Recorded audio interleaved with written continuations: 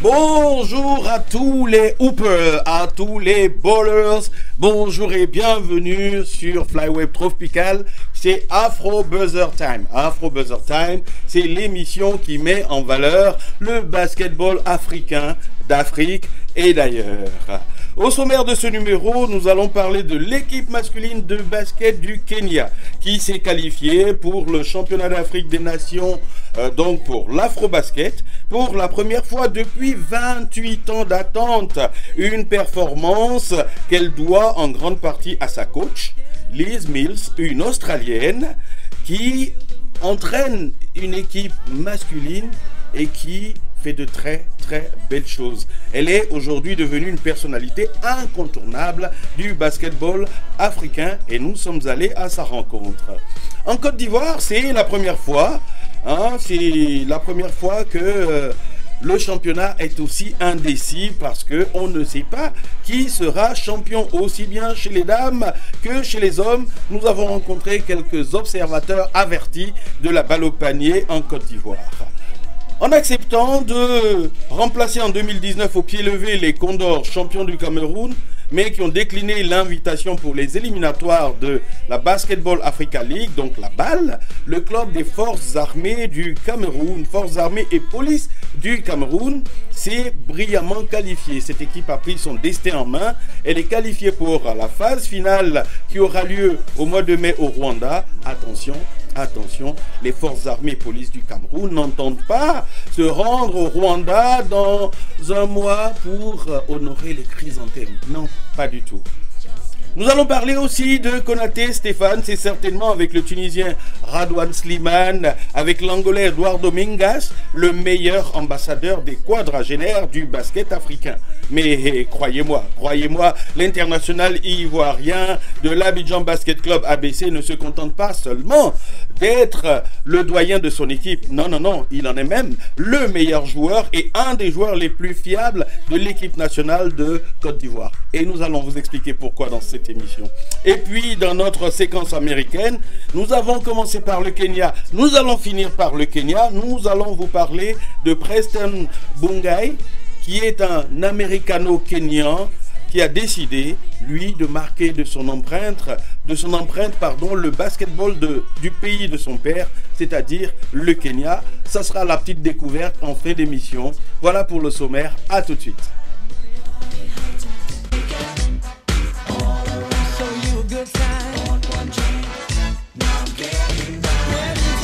Lorsque Tyler Angwe inscrit ce buzzer beater contre l'Angola en février dernier lors des éliminatoires de l'Afro-Basket pour une victoire 74 à 73, on savait que le Kenya venait de marquer l'histoire du basketball africain. En effet, non seulement c'était une disette de 28 ans qui prenait fin, mais c'est aussi la toute première fois qu'une sélection nationale masculine africaine sera coachée par une femme lors d'un afro-basket. Et pourtant, coach Liz Mills n'a pas volé sa place.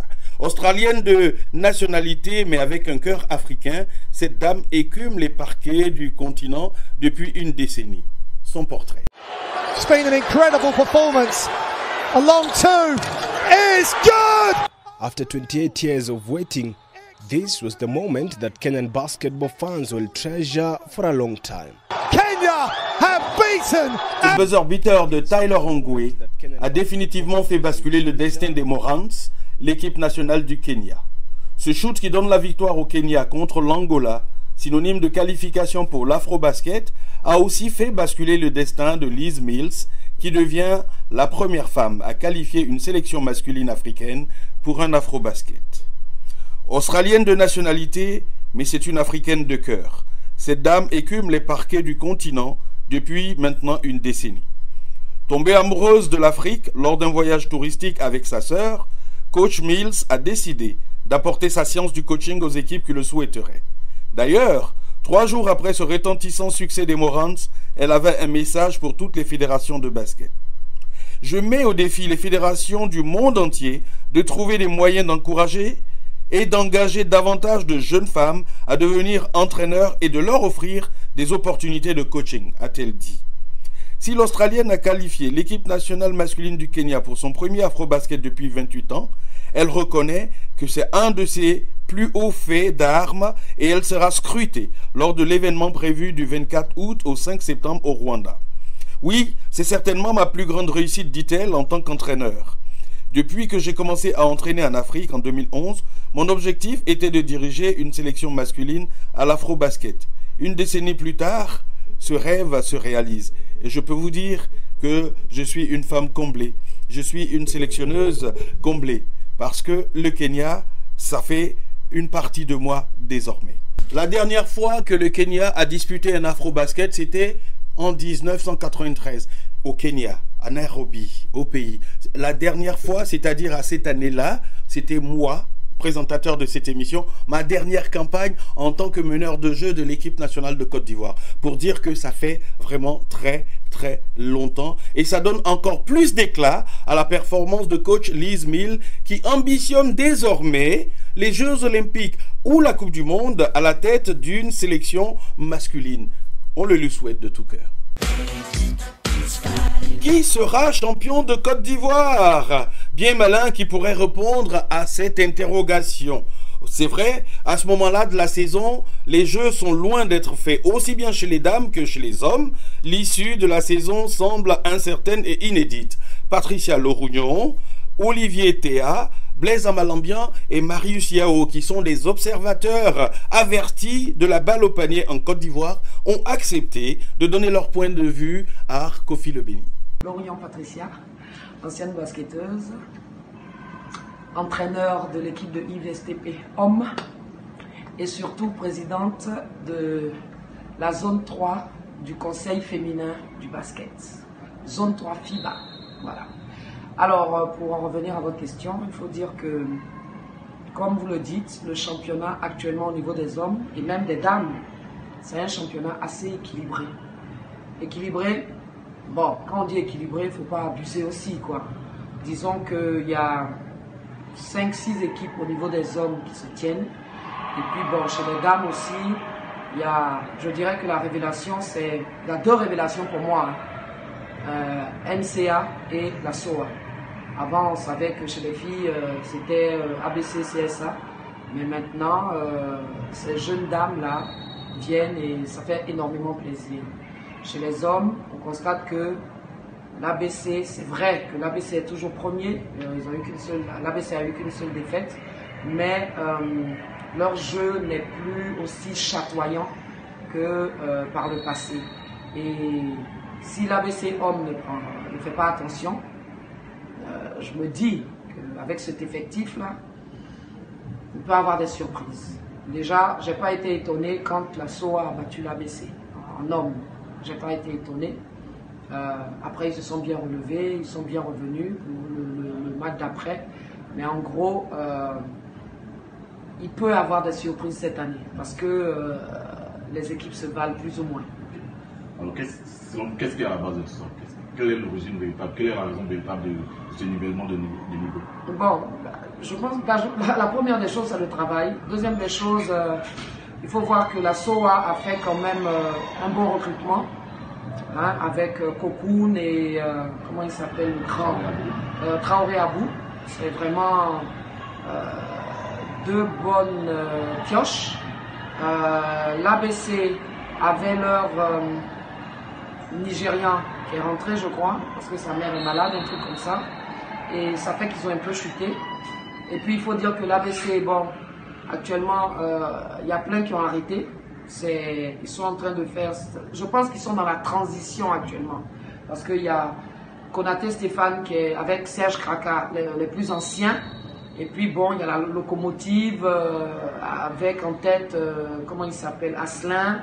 Et oui, ça c'est les jeunes jeunes, mais je veux dire, Asselin, il est au milieu. Et puis après, il y a les jeunes. Donc, c'est une phase, si vous voulez, de transition. Et il faut savoir aussi que le championnat, cette année, c'est un nouveau championnat. Quand je dis un nouveau championnat, il y a plein de jeunes.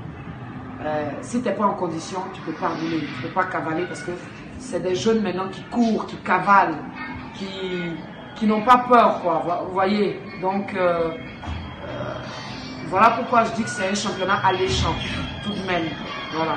Et quand ils écoutent, ils suivent les consignes, alors là, c'est encore merveilleux.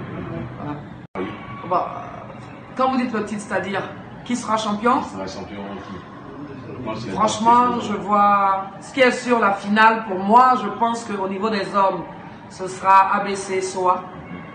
Au niveau des dames, j'hésite. Je sais qu'il y aura ABC. Maintenant, entre CSA et et NCA, euh, non, la, euh, CSA SOA NCA, ce sera certainement entre l'ABC, oui, et euh, Une des trois. je penche même pour la SOA, pour vous dire. Voilà. Je pense que ce sera la SOA. C'est par rapport à ce qu'on voit. hein. Voilà. Merci beaucoup, coach. Je vous en prie. Au revoir. Ok, moi c'est Thierry Olivier, ex-directeur technique national de la du basketball. Alors, que cette année, le championnat est arrivé, a un équilibre entre toutes les équipes. Qu'est-ce qu'il y a à la base de ça? Quelles sont les raisons véritables de. Bon, ça, ça, s'explique un peu. Hein, le championnat ivoirien, il y a deux niveaux. Il y a deux niveaux. Il y a, les anciens et puis il y a une nouvelle génération de joueurs qui est en train d'émerger. C'est pour cela qu'on voit un peu cet équilibre-là. Quand vous l'ABC, l'ABC, l'effectif de l'ABC, la majorité sont vers, tendent vers la porte de sortie. Donc, euh, l'aspect physique ne répond plus. Donc ils doivent se sublimer pour pouvoir maintenir leur cap. Donc c'est pour cela que les jeunes aussi arrivent avec leur force, leur fou. C'est ce qui fait que l'équilibre entre les, équipes, ça, ça commence à être intéressant. C'est pour cela qu'on voit des bons matchs, euh, des, des très bons matchs tous les week-ends. Donc, le niveau pour vous, il est, il est bon cette année? Oui, le niveau il est bon. Le niveau il est bon. Mais il est bon pourquoi? Il est bon parce que l'autre équipe qui. L'autre équipe qui était en train d'émerger, qui, qui, qui notre basketball, est, en dans une phase descendante. Dans une phase descendante, ça fait que euh, la nouvelle vague de jeunes qui arrivent euh, euh. C'est eux qui font l'équilibre. Qui font l'équilibre entre euh, l'équipe euh, d'ABC et puis eux. C'est pour cela qu'on a toujours des bons matchs. Que- que- Qu'est-ce que vous pouvez nous dire sur le, euh, le championnat des, des dames?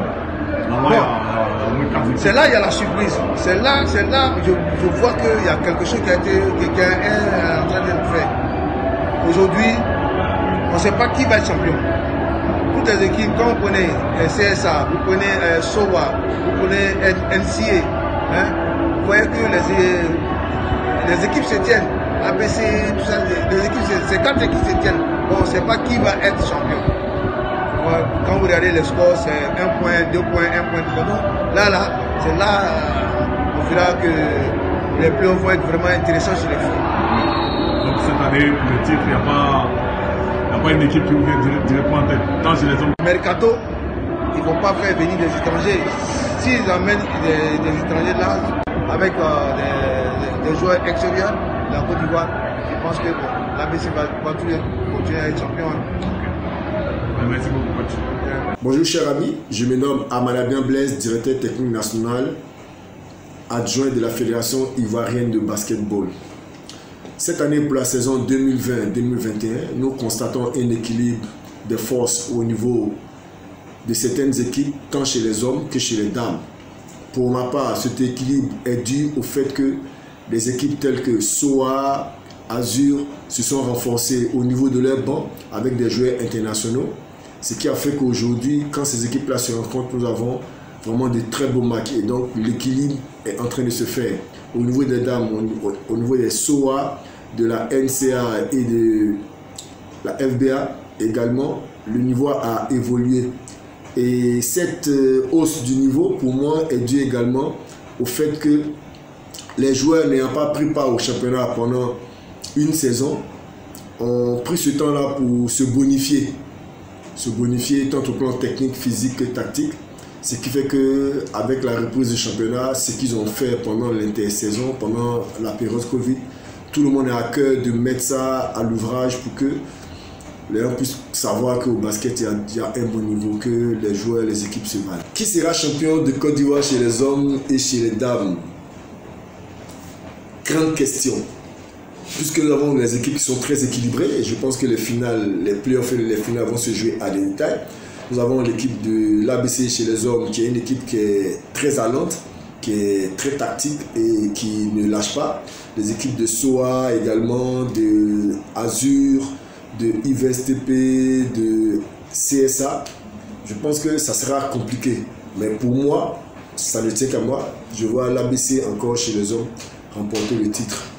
Et ça dépendra aux autres équipes de pouvoir jouer sur les détails si elles veulent détourner l'ABC.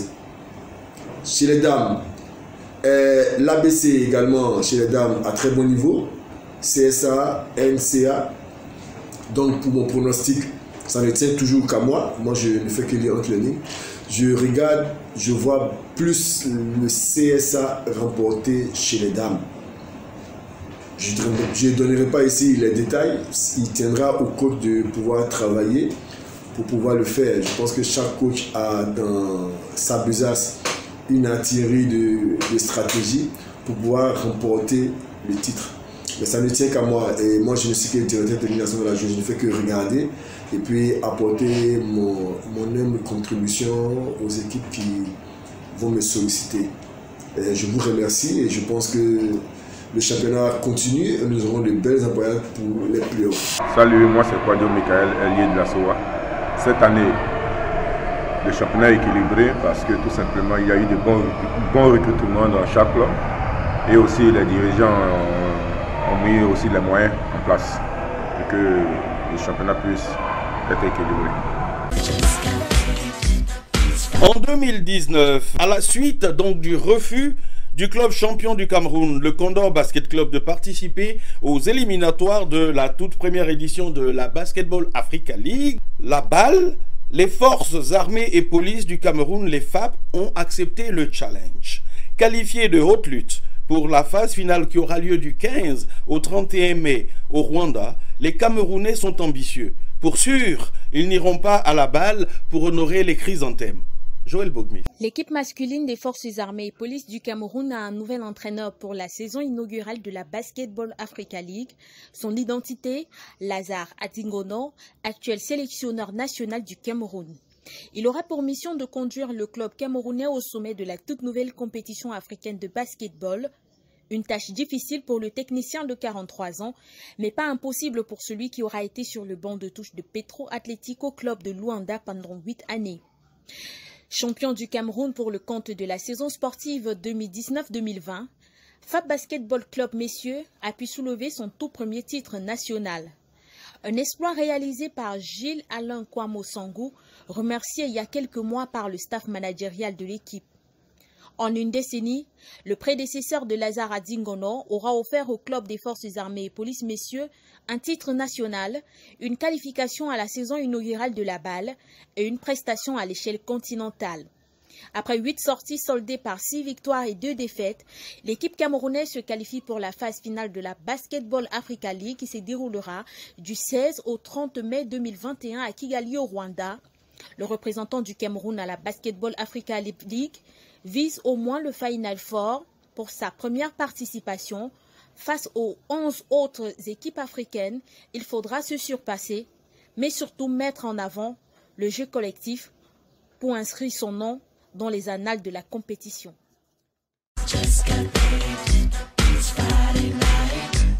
Konaté Stéphane, c'est hygiène de vie, travail, discipline, ténacité, enthousiasme, mais aussi une vie maritale bien gérée. L'international ivoirien qu'on appelle El Jefe, c'est-à-dire le chef, n'en finit plus de battre des records de longévité. À 40 ans passés, il tient encore la dragée haute aux genoux qui ont du mal à le déloger de sa place. Encore MVP cette semaine dans le championnat ivoirien, le capitaine de l'Abidjan Basket Club ABC est sans doute le meilleur joueur de son club. Il est aussi un pion essentiel de la formation des éléphants de Côte d'Ivoire. Son portrait. Stéphane Konaté, international ivoirien, basketteur ivoirien. C'était euh, un retour rempli d'émotions.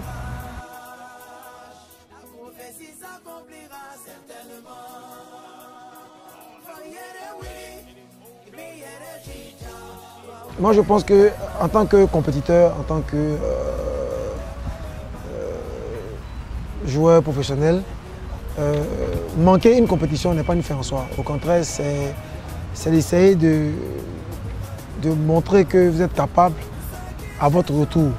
Donc je pense que c'est ce que j'ai essayé de faire et Dieu merci ça a marché. Donc je vais m'atteler à, continuer et surtout servir le groupe et partager mon expérience à, tous ces jeunes-là. Quand, on voit un peu la configuration de l'équipe nationale de Côte d'Ivoire, ce n'est pas une seule personne chaque match qui marque plus de 20 points. Les points sont vraiment partagés. Nous avons 4 à 5 joueurs qui souvent sont à plus de 10 points. Donc ça vous dire que euh, la, balle, la balle est partagée et voilà, c'est ce qui fait la force principale de, l'équipe nationale de Côte d'Ivoire. Non, le plus important pour nous, je pense que c'était juste des victoires. Il fallait gagner le maximum de, matchs possible pour pouvoir se qualifier. Euh, Dieu aidant, on a gagné tous nos matchs avec la manière.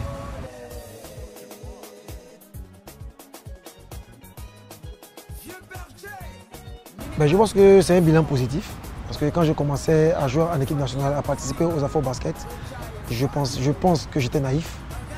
Euh, J'avais pas tous les éléments qui allaient me permettre d'avoir cette, cette constante-là.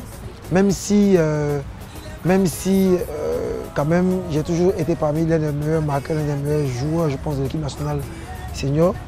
Euh, mais j'étais encore beaucoup naïf. Depuis la basket de 2009, à Tripoli, j'ai commencé à avoir une certaine visibilité par rapport à l'expérience acquise par rapport à toutes ces, expériences engagées, j'ai commencé à avoir une certaine visibilité qui m'a permis et qui me permet aujourd'hui d'aider au mieux l'équipe nationale. Je ne peux pas comme je prépare tous les affaires basket, je pas comme je prépare euh, toutes les compétitions internationales, nationales. Euh, sereinement, avec beaucoup de travail, avec beaucoup de, de vidéos, pour voir ce qui n'a pas marché à mon niveau et ce qui n'a pas marché au fait d'apporter tout ce qui est positif au groupe.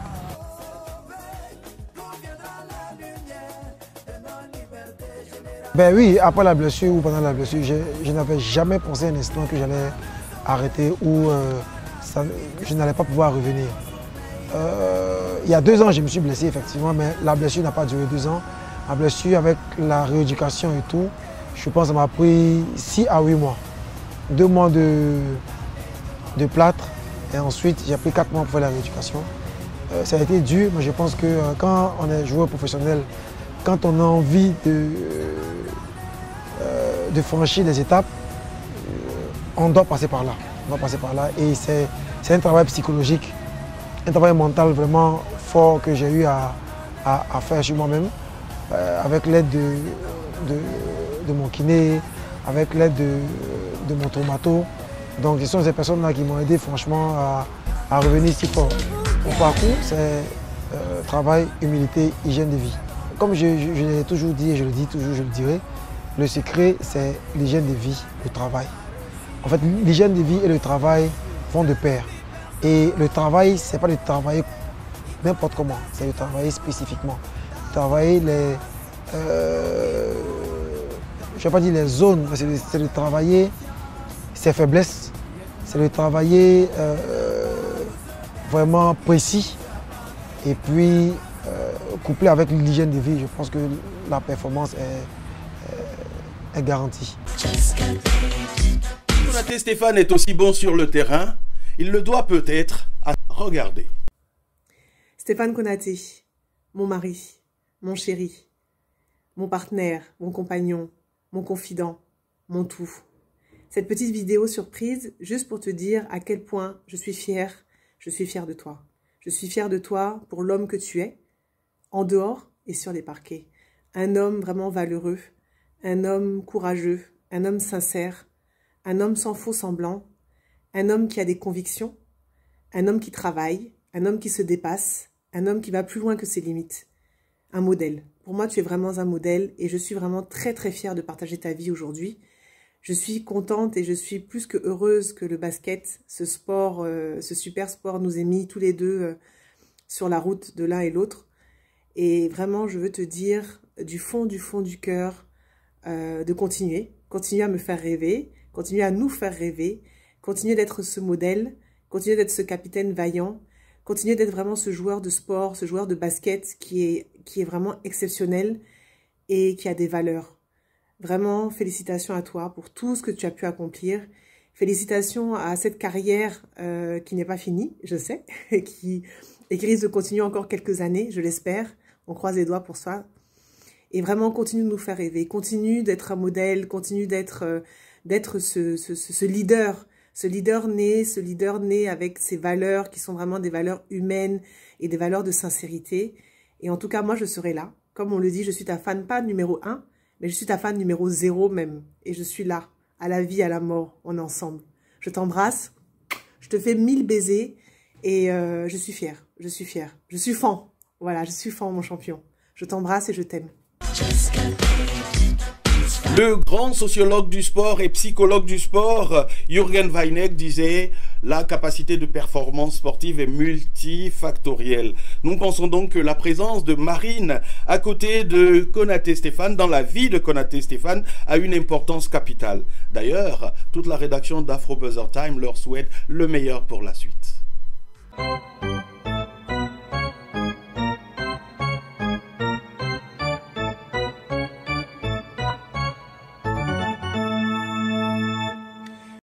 À présent dans notre séquence américaine, nous allons vous faire découvrir l'américano-kenyan Preston Bungai. Surtout, ne vous fiez pas à sa chevelure poivre et sel pour en faire un vieux. Preston Bungai n'a que 26 ans. Joueur de 1m98, il est né d'un père kenyan, James Bungai, ancien champion de marathon et d'une mère américaine. Né aux États-Unis, du temps où son père vivait, Là-bas, Bungay a fait ses classes à l'université de Trinidad State en junior college avant de rejoindre la fac de Norfolk en Virginie. Il joue aujourd'hui pour le club bosniaque de HKK Kapinia. Son profil et ses accomplissements en basketball universitaire américain sont un vrai plus pour l'équipe nationale du Kenya. D'ailleurs, son histoire avec le pays de son père est très touchante, car des USA où il est né et a grandi, Bungay est devenu un résident australien quand il revient en vacances à la fin de ses différents contrats professionnels. Contacté par la coach Liz Mills, qui connaissait son lien avec le Kenya afin de renforcer la sélection nationale de ce pays, Preston Bungay n'a pas hésité un seul instant. Je savais que j'avais des attaches très fortes avec le Kenya, mais je n'avais jamais eu l'occasion d'y venir. Et là, être convoqué pour jouer au basket pour le pays de mon père, donc mon pays, quelle joie, s'est-il écrié. Scoreur correct, avec 8,3 points et 5 rebonds par match en sélection, Preston Bungay est surtout un excellent défenseur et possède un grand sens du, du contre doté d'une détente exceptionnelle. C'est souvent lui qui est chargé de museler le meilleur joueur adverse. Joueur important des Morans lors de la campagne de qualification du Kenya pour l'Afrobasket, Bungay entend y jouer un rôle majeur. Eh les gars, merci, merci à vous les bowlers, merci à vous les hoopers, les fans de basket. Regardez, basketball never stops. Le basket ne s'arrête jamais. Le basket, c'est pour la vie. Basketball for life. Merci d'avoir suivi cette émission. Nous avons pris du plaisir à la préparer. Nous croyons, nous espérons que vous avez pris du plaisir à la regarder. Elle a été réalisée par le Master Mix Francis Ponzola. Prenez soin de vous, prenez soin des vôtres et à bientôt. Bye bye.